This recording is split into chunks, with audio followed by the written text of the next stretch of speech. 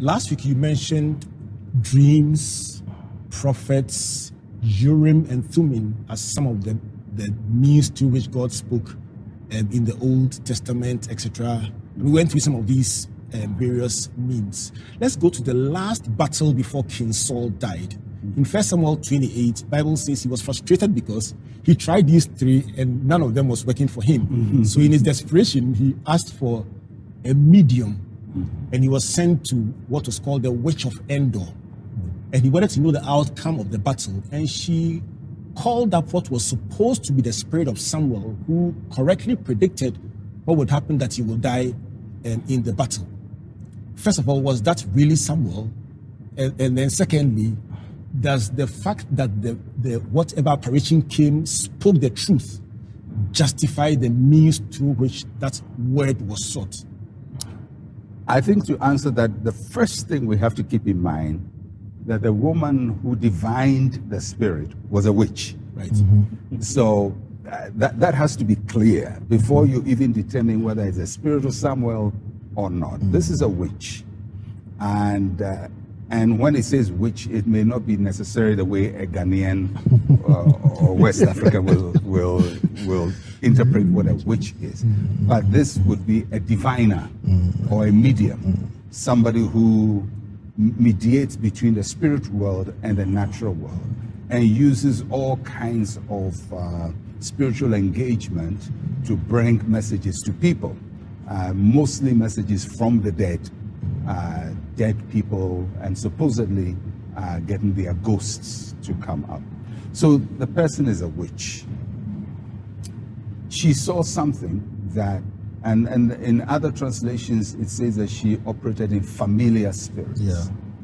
In, in the Jewish spiritual world, it was believed that there were people who operated something called a familiar spirit.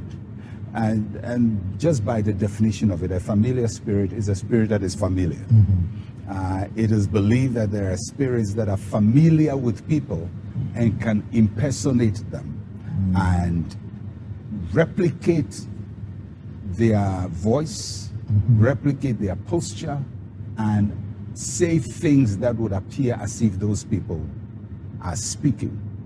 Um, it is difficult to for any Christian to accept that a witch can divine a holy man of God from God's presence. That, that, that's not going to happen. So that entity obviously was not the spirit of Samuel.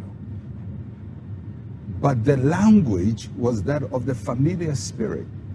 Uh, and, and the idea was that these spirits and some will call them demons.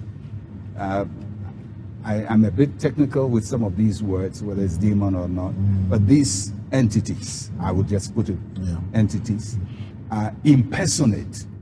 That's what a familiar spirit is. It impersonates. It's similar, like, you know, sometimes um, in our culture, they say somebody is dead and somebody says, uh, I went to the person came in my dream. The dead person came in my dream and said, Maybe you haven't buried me well, go and bury me well, uh, take me from this place, you haven't treated me well. You know, messages from the dead. That was totally disapproved of in, in Israel. Uh, so God's people are not supposed to take a message through a medium from a dead entity. Uh, it may be accurate. Accuracy is no determination of source. Mm. Because if we're going to say something is accurate so the source is right, we're going to make a lot of mistakes. Mm. Uh, because the spirit world is a very wide world.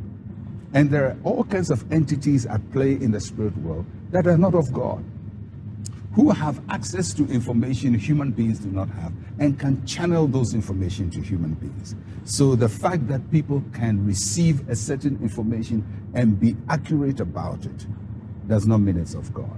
If he's channeling a dead person, if somebody comes to you and says, Your auntie says this, your grandmother said this, she's been dead for this long, and he says you should go and do ABC for her to have rest you are not the one to give your grandmother rest. Um, and that mm-hmm. definitely cannot be uh, the God Yahweh, mm-hmm. the, the, God of, of both the Old and the New Testament.